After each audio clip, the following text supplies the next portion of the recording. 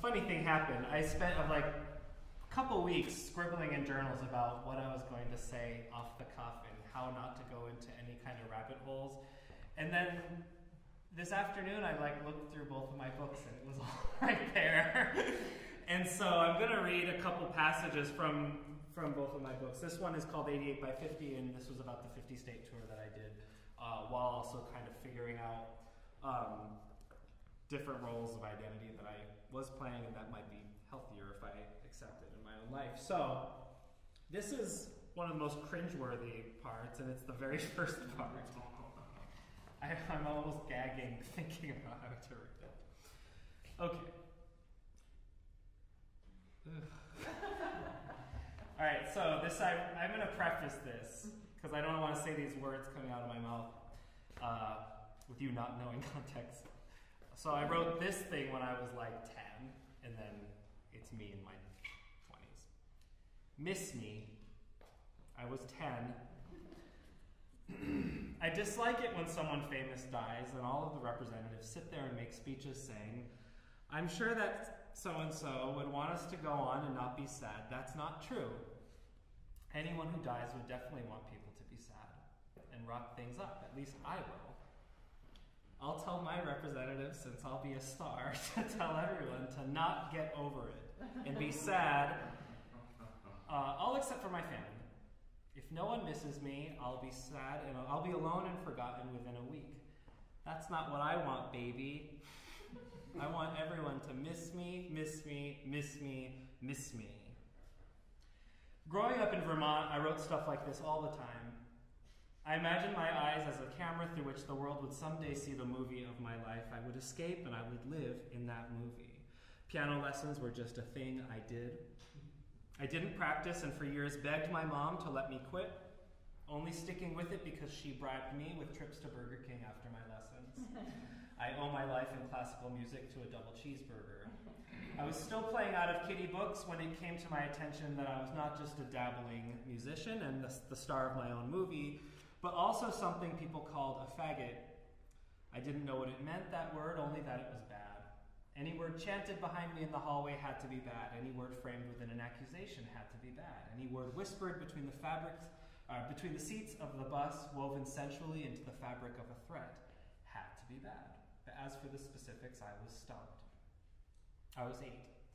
By my early teens, I got the picture, and though I lived in fear fear of violence, fear of hearing that word, fear that they were right, that something was different about me I compensated for the fear by constructing an elaborate fantasy world, maybe another movie, in which everything I did carried some kind of profound weight, had its own long line of intention that would lead somehow, some way, to some kind of ultimate success in the future retribution. It didn't matter how, I just needed to ensure that someday I'd be special in a good way, for a good reason, not just for being that word. Raised on the sunnier side of classical music, I never felt an urge to play standard repertoire. And picking up on this, my piano teacher started exposing me to the less famous works of Chopin and then Rachmaninoff. Something clicked. The music, so emotional, and I insisted on minor keys resonated with me, and the fact that the notes were right there on the page made it somehow accessible. All I had to do essentially was access. I delved into this music with a veracity that surprised everyone my teacher, my family, even myself. And from the Romantics, I moved into the Modernists, from Prokofiev to Schoenberg, then to Copland. It excited me that those notes, those dissonant notes, were on the page, that someone chose them, wrote them down, and that somehow I totally understood them.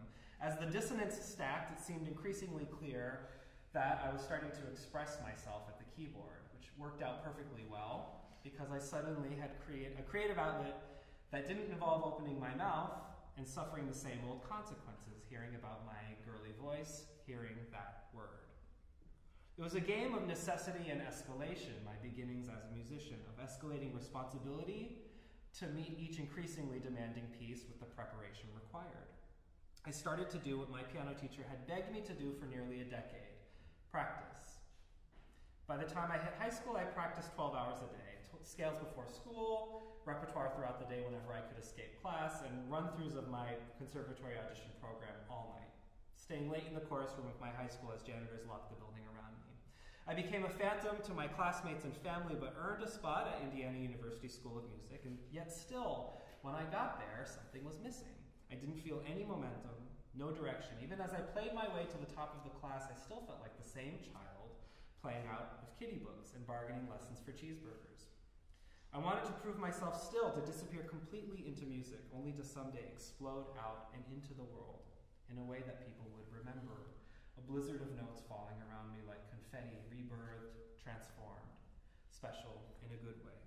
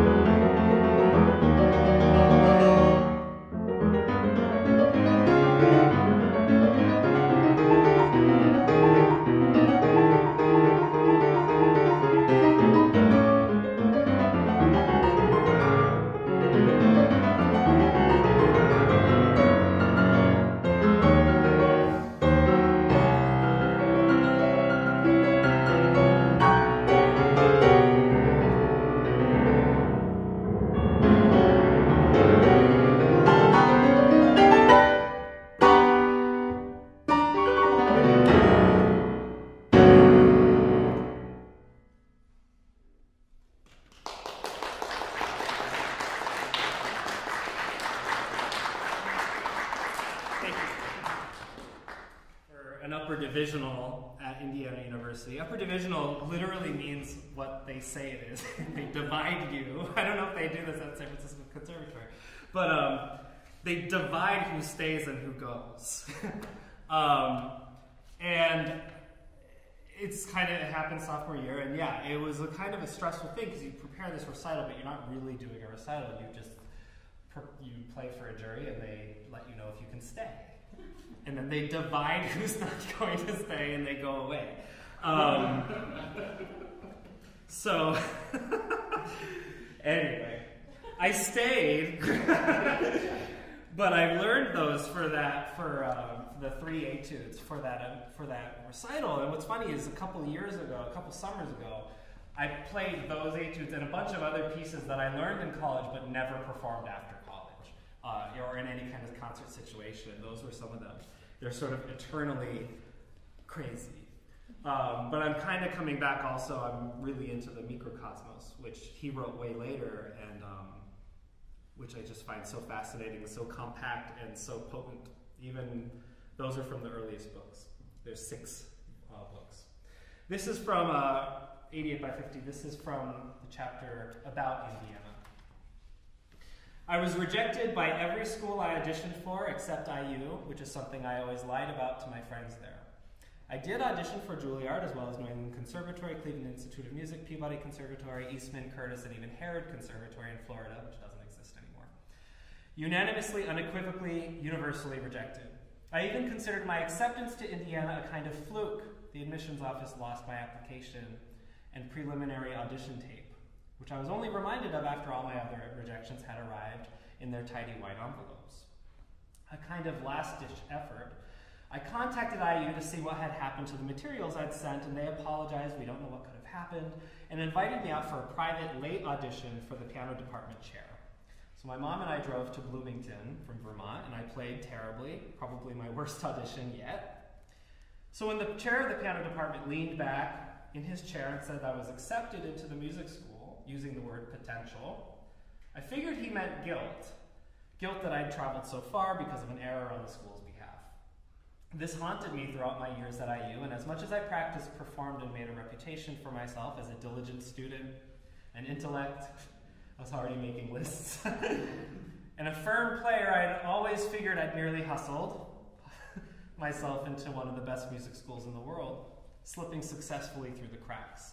Every day I fought to make sure no one would find out my secret, but this frenzied state of overachievement only escalated my paranoia.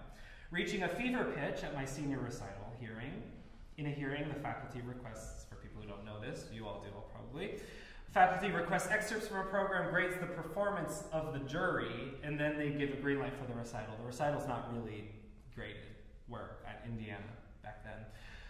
Well, I'd made a ton of mistakes on stage. I forgot the notes to important passages, and I failed. No green light. After ripping down all the posters for my recital that I'd already posted across the music school, I took to my dorm room and had the closest thing to a nervous breakdown I think I'd ever experienced almost dropping out a week before graduating. It was like I still didn't know how to play. My teacher told me that my brain hadn't caught up to my body. I'd put in the work, earned my technique, but my mind still didn't believe I could do it. I needed to create my own classroom, but first I needed to get out. I replayed my senior recital hearing, passed, performed the recital, completed my exam. At that point, I was taking graduate level classes because I'd exhausted all the others and I left Bloomington with honors a semester early, skipping the winter graduation ceremony. They could mail me my degree. Many years later, this is the newest book, which it seems I'm still haunted. The book got way shorter. this one's called Latin Lesson. I just looked up the uh, I just looked up the expression persona non grata to see if it could in any way apply to how the piano faculty at IU has treated me since I graduated, and it turned out to be exactly the perfect. This is a piece talking about being maybe an ambassador, not really, or an ally. Um, my friend John Glover went. He's a composer. He went to Indiana with me, but we weren't friends there. Uh, he wrote this piece just a couple weeks ago, and he sent it to me a couple days ago.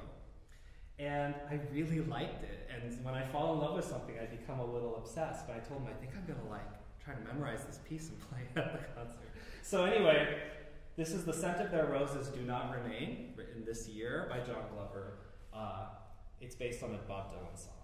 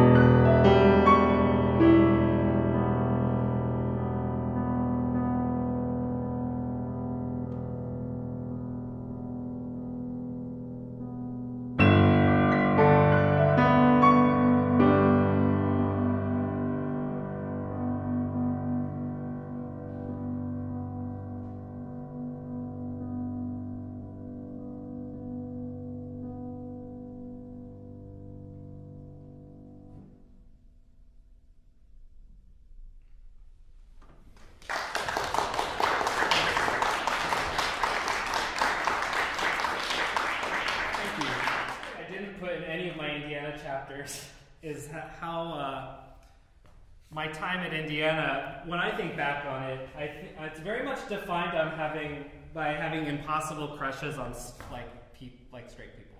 to put it bluntly, and I was still very much in the closet. but um, so I didn't really know quite what was happening. Uh, but it's funny. So one of them in particular is featured in this next piece. Um, I think he's aware that that was what was going on in my head at the time. We were really, really close friends, and we're still close friends. Um, but uh, I was, again, speaking to being sort of a detective, I was asked to maybe research music by Elodie Lauten, who was a pianist, uh, improviser, and also a vocalist. And she, she drifted more toward vocal music and opera, but it was still very much improvised. Uh, well, her, her work as a composer was based in improvisation. She's sort of a downtown composer uh, in New York City. She passed away just a few years ago, and I never met her. Um, someone said I should look up her work, and that most of it was not notated. So uh, I don't know, do my best. And so I started looking, and all, a lot of her estate is tied up in weird politics and infighting. Um, but there was this one piece that was on a recording of hers called Piano Works, which you can find. I don't think it's like on Spotify. It was called Imaginary Husband. And I bring up the, the estate because I couldn't find. Uh, there's like it sounds like in the recording that there's a tape part, and, or like sounds in the background. It sounds like an old movie and all this kind of stuff. And I said, well, where is that tape? I know it has to be somewhere, and no one could find it. And so I spent a while. I went through the whole score and notated the whole thing based on what I heard. So all of this is what she wrote or improvised, but I, I um, notated it. That said, I wanted to recreate the tape part. I created the tape part. I was never totally happy with it, but I did. Um, and then one day, my friend John wrote. He would send me these like WhatsApp voice messages that would go on for a really long time. And finally, I was like, I need to just listen to these messages. And so I started playing it. And then I started playing Imaginary Husband, and I was like, I kind of like this. and um, then I started performing it that way. So if there any, I don't know, it's just what happened. So I don't know if that's good or bad. Uh, but when I did it for the concert that I was asked to research her music for, I used um, what ended up being John's uh, what answering machine kind of message, and uh, so it's sort of just by happenstance, not because he's my imaginary husband, but all those funny little things sort of play with each other uh, in this piece this way. I'm not sure Lauten would have approved, but the people who are her friends kind of dug it. So I still have the other tape. Sometimes I do it, but I like this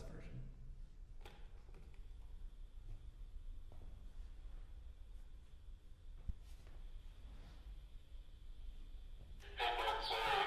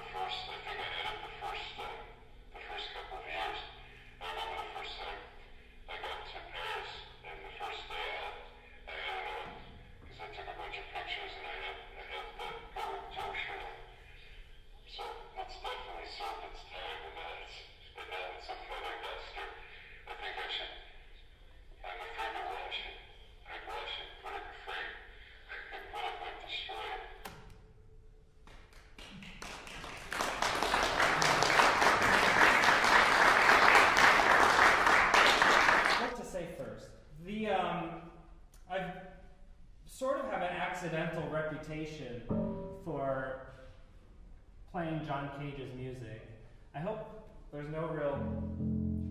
I hope there's no like representatives from the conservatory here because this is not allowed.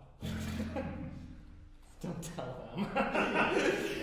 um, but I'm doing everything safely. I used to, when I was in school, when I was uh, at Indiana, I would, you know, John Cage was one of the first composers who I really kind of fell in love with. In high school, I um, would go to this room in the back of my library where there just happened to be a ton of um, score, or a ton of records. Uh, just obscure classical music. I don't know whose records those were and why they were there. But I'm certain no one was listening to them except me. And it's the, the music that I heard there really kind of still informs my programs now. It's the first place that I ever heard John Cage. And what I did with his music at the time, I was so kind of captivated by it that um, I would like kind of call people in and say, "Do you know this is a piano? This thing? There's screws in the piano, and this is, this is so incredible." Mm-hmm. And it's literally what I still do now. I just think it's still so cool, and I want everyone to know how cool it is. Um, after the 50 state tour, I traveled with like um, what is actually literally called a dumb piano, which is a it's a piano that doesn't make any sound. Uh, it was sort of the action from an old upright. Anyway, I used that to practice, and after the tour, one of my roles after that was I was a veterinary assistant in Malibu, and I didn't have a piano, and I thought, what can I learn finally? What can I learn that doesn't I don't want to learn on an actual piano? And I thought of the sonatas and interludes, which is sort of one of Cage's masterpieces for prepared piano.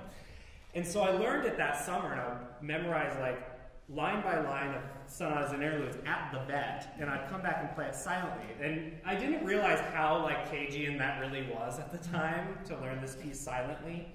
Um, but that's how I did sonatas and interludes. And it, it's kind of funny because sonata, I, I think I would have been, I think I would be more cautious now uh, and not really start with the masterpiece. It'd be like starting with late Beethoven kind of a thing.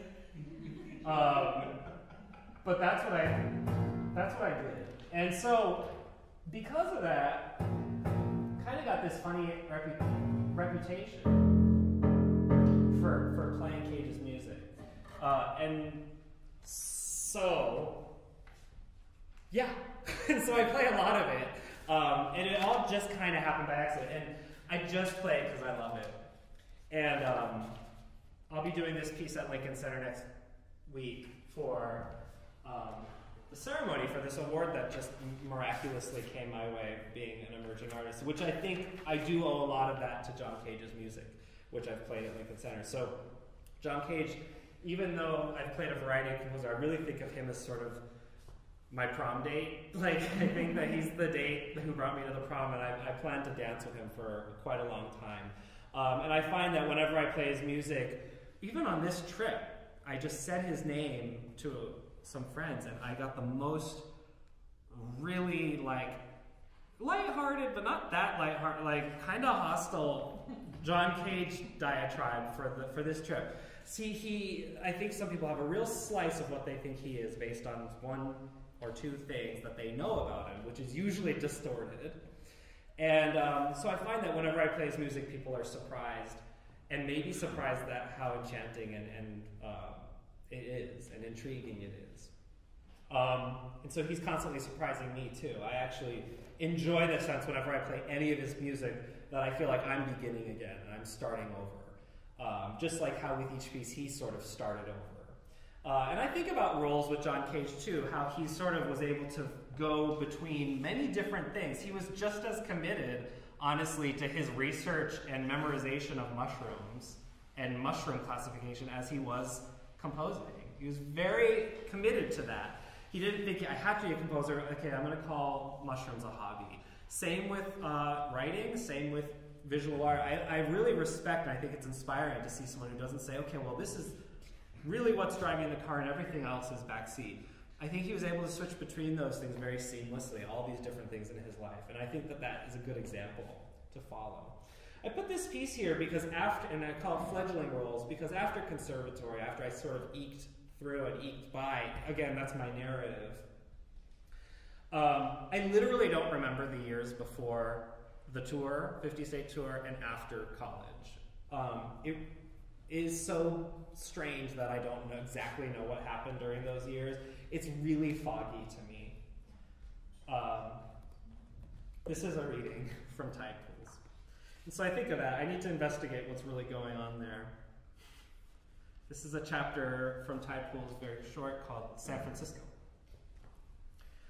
My friend from New York, also visiting San Francisco this week, sinks beside me into the couch, and we begin talking about Ned Rorem. I can't believe the gaps, he says, referring to the pacing of Rorem's diaries, how he can skip a couple years between one page and the next.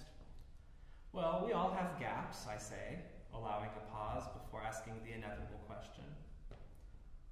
Am I in a gap? Is this a gap? He responds in less than a second No. I nod, staring ahead. I suppose that's what I needed to hear. Then he adds, But last year, yes.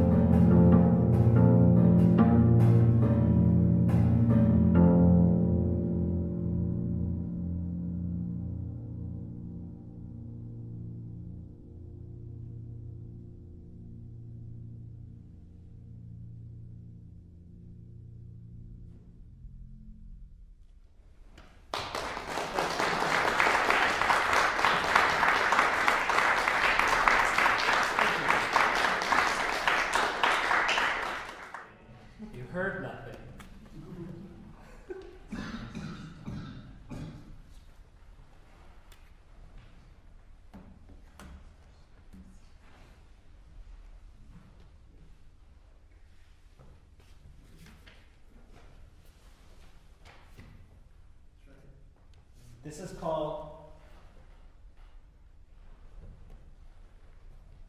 This is called going up.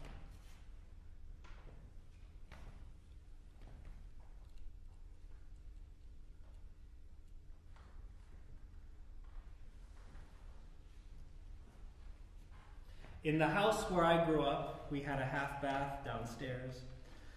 It was a no frills affair, this bathroom, but as a kid, I would enter it and shut the door, and it would turn into an elevator, taking me upstairs. No one else knew it was an elevator. I never opened the door to see the upstairs kitchen and shag carpeted living room waiting behind it. I didn't need to. I'd just wait there a bit, leering at the magical crack between the floor and the door frame, certain I had seen a shift from downstairs to upstairs. And then, when the time was right, I would will the elevator to go back down, opening the door and exiting the same way I entered, only now giddy and warm with the secret knowledge that I had gone up, then come back down. No one else knew it was an elevator.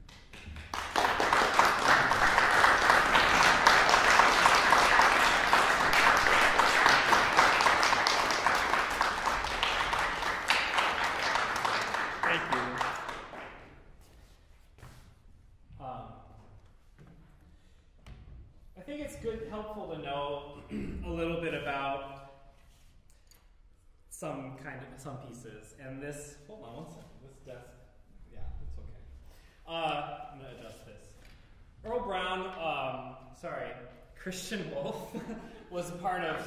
Is well was the youngest member, if we can say member, uh, in the circle of sort of John Cage, Earle Brown, and those kind of composers exploring chance operations in their music um, in the 50s and onward. Uh, he was like 19 when he met Cage, um, and already uh, quite a prodigious composer. Um, and probably around the that age when this piece was uh, composed.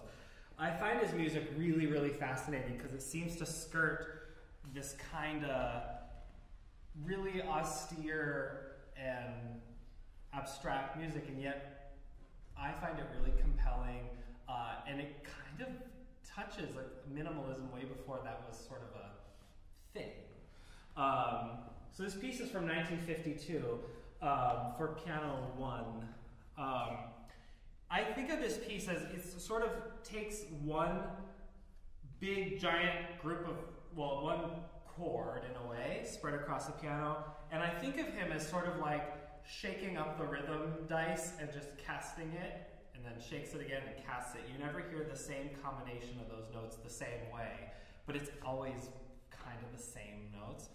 Um, he's in his 80s now, uh, Christian Wolff, and I actually wrote him an email uh, about one note in this piece. I thought, I don't think this is right. There's an E sharp and it's pretty. I just don't think it's right. I, do you want, is this a G sharp? And I thought he was going to say, like, who is this annoying person? Uh, we'd had a couple emails before, but I, it's like very like me to ask an annoying question about some a piece from like, you know, however many decades ago, 1952. And um, he wrote back and he's like, you know what? That's not the right note. You're right. so just so he's totally on the ball, knows his music note for note, and um, uh, it's was it's I don't know. It's a real exciting thing to always play to want to play his music. Another interesting thing to know about as we're kind of entering the Merce Cunningham centenary, this piece was written for David Tudor, who had it was very important to these composers, Cage and, and Wolff and Earle Brown and Boulez. Uh, this piece was it, for Merce Cunningham was for a Cunningham solo, which we don't have any visual documentation of or any kind of uh, notation of how the choreography was, but all the reports were that it was really, really disturbing. And that Cunningham in this performance did things that were really shocking and um, ugly in a way that no one had seen yet. Um, so I think that's another interesting thing. I think it was called Untitled Solo, was the Cunningham piece. So in Cunningham circles, this is that's a very important piece. Um, and so this this work accompanied that. But I love the kind of shaking of dice visual for this. Thanks. I didn't expect to talk so much about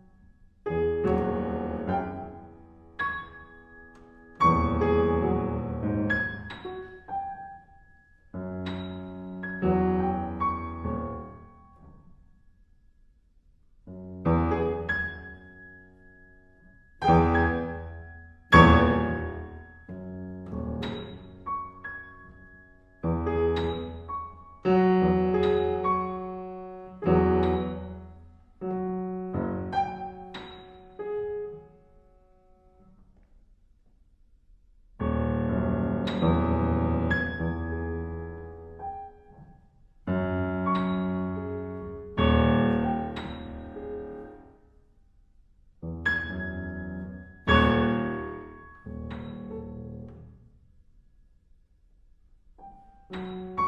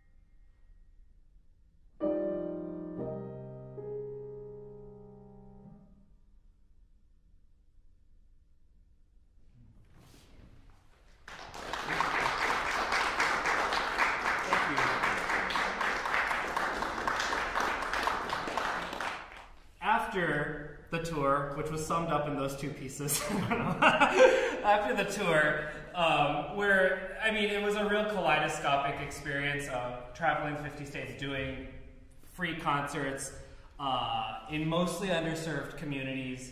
Um, I came away from that experience, and part of that experience, uh, and also playing a million roles in that experience, from setting up these shows by myself to also sort of just getting myself from place to place, trying to get publicity, uh, trying to drum up audiences, and also working with schools to kind of do outreach, um, wearing a lot of hats. But when it was over, I thought, okay, I've done this 50 state tour, everything is going to work, and uh, everything, all my questions about how to make a life in music will be answered. I'll definitely know how to play the piano perfectly. Um, every question about my own identity will be solved, and it didn't happen that way.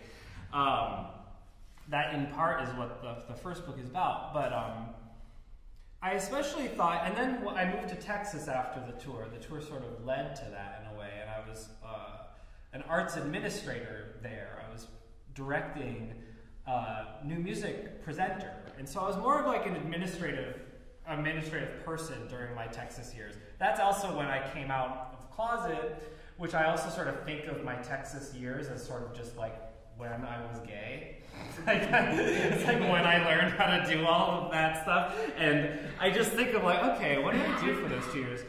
It was margaritas, and but it was really an interesting training to sort of be like very administrative, be on a radio station there talking about classical music, but actually playing the piano weirdly very little, um, except sort of John Cage and things I was doing with my with the group I was directing. So that was a really funny period pianistically. And I came to New York and started teaching and trying to figure out ways to survive in the city. Um, and started playing more music um, anywhere I could. Um, but this chapter from Tide Pools is how the book opens. It's actually what I almost called the book. And it's called uh, Where Can Art Take You? In a Bronx charter school, working from subplans, I tell the kids they must design a t shirt answering the question where can art take you? My t shirt, example, which most of them copy, of course depicts scenes of my 50 state tour because that's where art once took me. And wouldn't it inspire the children? I make palm trees for Hawaii, which I think will seem exotic, a road, musical notes, a book, a map. I try to explain my design to these second graders over deafening indifference. Students wrestling, pencils flying, girls pulling each other's hair, and in an instant my life feels worthless. My story, my unfinished book, my accomplishments, all fodder, an attempt to look alive and well in the, in the eyes of others. By the end of class, I'm tearing off shards of my portrait for bathroom passes. The newly printed manuscript of my book, that one, tucked in my tote bag, looks like a treasure map of scribbles, arrows, asides, and corrections. The draft I felt so confident in weeks ago, a sample of which I submitted to one of the most powerful agents in New York City, now looks to me like the work of one of today's second graders. The agent has vanished. Glue explodes in my hands. They need to make a better top for that, says Ingrid, another art teacher. Let's say you, you and I invent a new top. We both become rich. You do your music, and I do my art. Ingrid introduces me to the music teacher, cute, straight, but I have nothing to say. To him, I'm some dude who calls himself an accomplished musician who's actually just subbing an art class in the Bronx. So I begin listing places I've lived and ask him to do the same. My girlfriend from high school calls me as I leave. We haven't talked in years, but she has called today to say she likes my blog. When I read it, it sounds like you're right here. This is exactly like you sounded in high school. I thank her. How's your love life? A swell of guilt chokes out my words. I still feel like I betrayed her. I'd rather change the subject. God, how things would have been so different if I just once in my first 25 years simply answered yes to anyone who asked, or to myself. How might high school have been different, or conservatory, or the 50 state tour? If I didn't wait all that time to come out, cowardly, I still think, in a letter overnighted from Texas to Vermont. Standing under the Bruckner Expressway, dirt and smoke and brown slush kicked into the air by tractor trailers, I look toward the entry ramp north like it's a portal to another world, back to safety, home to Vermont. This here, this New York, is not my home. It can't be.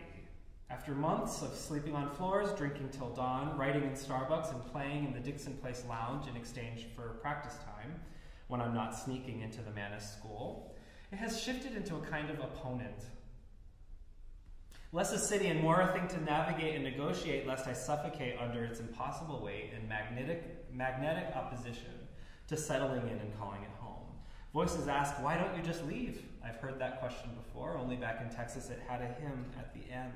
I didn't leave then either, not until he told me to. I left that day and landed in New York, my bags continuing onward to Vermont. I went straight to my friend Paul's studio on St. Mark's Place. We drank cheap red wine mixed with Diet Coke and went out that night and every night after. When I'd cry, he'd frown and say, Oh, girl. And when we would come home, he'd stay up, smoke, and listen to Nina Hagen as I slept on an air mattress at the foot of his bed. I'd wake up and teach a piano lesson uptown, one of the families I found on Craigslist, and my only income for months until I started subbing in these schools. Occasionally, I mopped floors and grabbed cases of beer from the basement at Ty's in the West Village. During Pride, I guarded their restroom, making sure only one person entered at a time. My tank top read, bathroom bouncer. Where can art take you? Don't ask me, I just work here.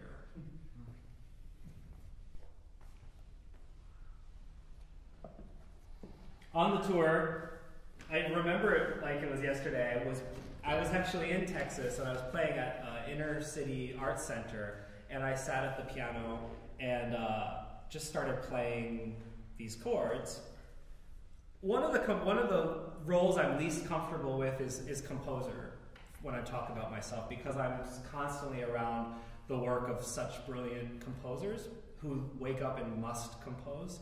Uh, and I've never really considered myself that, even though in school, when I was trying to answer the question of how to make a life in music and how to make a worthwhile life in music, especially that was when 9 11 happened, I really was not sure why any of us were in music school and why any of us were becoming pianists. I didn't know really what we were doing there. And one of the answers I had at the time was to compose. I don't, just don't think I was very good at it. Um, but I still occasionally do. And this piece called Autumn Lines was uh, taking Tang Dynasty poetry, uh, which I was introduced to at Indiana actually, uh, in this really beautiful translation by David Young.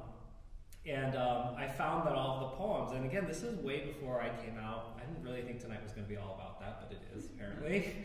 Um, all these poems were really about male intimacy, and I thought that was really interesting. I think I needed some sort of place to put that uh, for me that felt safe. And so uh, I was really into this poetry, and then I composed this set, uh, Autumn Lines Around It. This is the opening movement. I really was on the plane out here, and I thought this might work. um, I recorded this. This is online. I never listened to it. I'm very uncomfortable with it. And uh, I don't perform it anymore either because it's, it's a very personal piece to me. Uh, the whole set. But um, Anyway, here's the first movement. Uh, she thinks of him.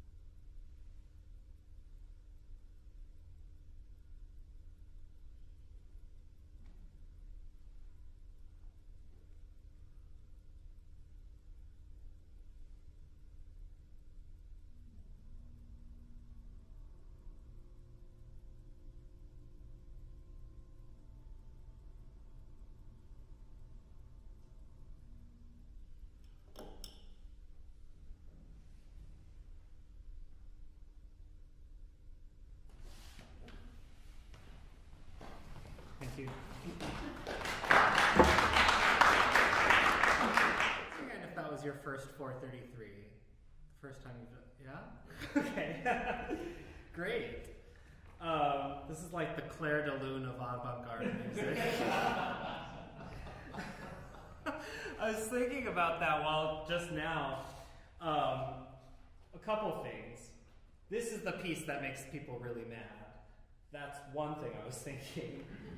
Um, but I have to tell you, there's a great book called No Such Thing as Silence, which is such a beautiful book about Cage, but it's really short and it really uses that piece as the centerpiece, the way of, it just explains that piece.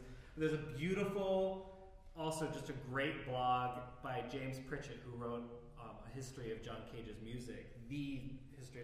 And he has like a four, eight part series just about that piece and Cage's weird relationship with it. He actually kind of posits that John Cage really didn't, wasn't really a fan of that piece and kept throughout his life revisiting it in different ways, trying to kind of fix it, which I think is really interesting.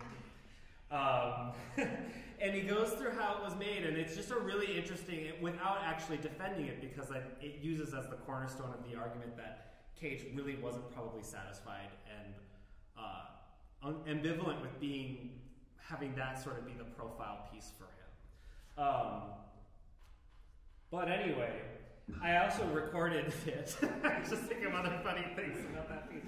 I recorded it, but it was like a video, and it should be out soon. The reason I bring that up is because it's really, it's like I'm not kidding. It's like the Moonlight Sonata, Clair de Lune, because there's so when the when the microscope is on, it's really like how what's the right where does the clock go? How does the thing and it's, a, it's, it's an interesting study, and part of why I wanted to do it tonight was to think about, well, the play of roles and how pianists and artists take on different roles with every project and with every piece, and yet still have to somehow make it themselves or, or shine, kind of come through themselves as an artist um, when, you're in, when you're interpreting work.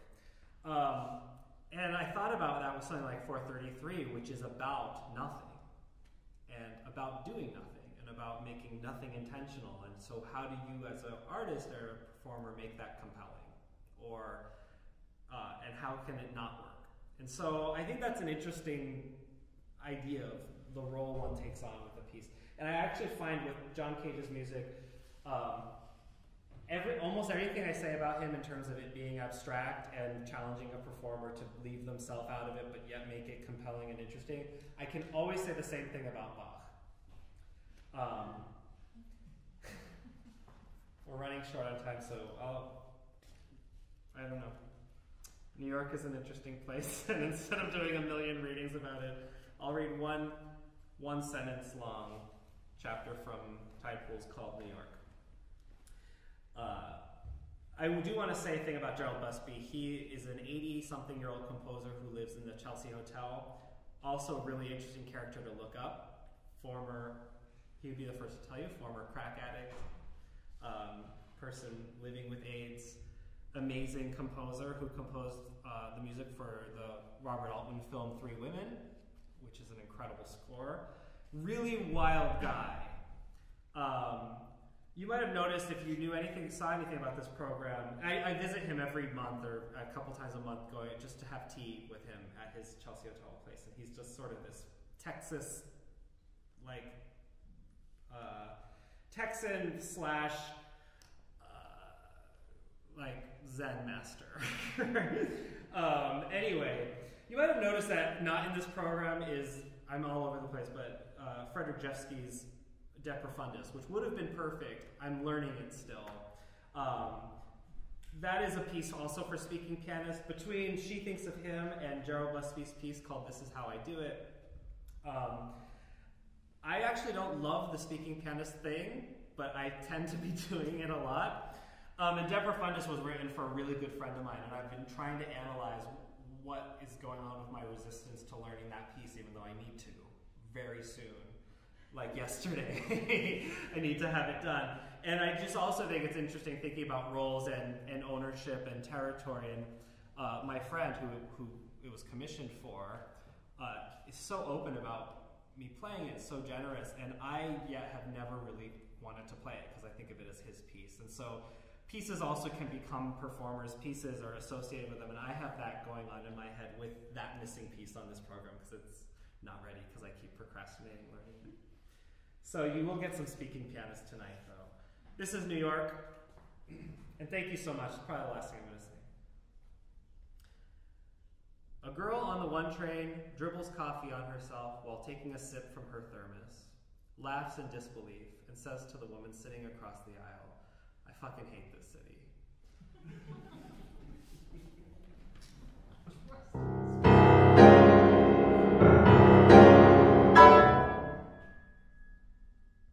how I do it.